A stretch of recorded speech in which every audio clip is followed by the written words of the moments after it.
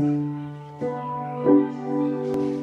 rather have Jesus than silver or gold. I'd rather be His than have riches untold.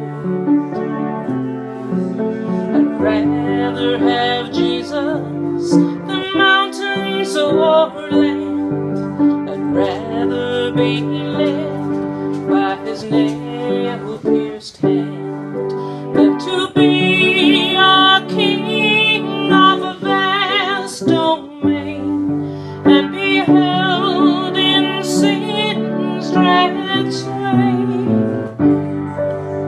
I'd rather have Jesus than anything this world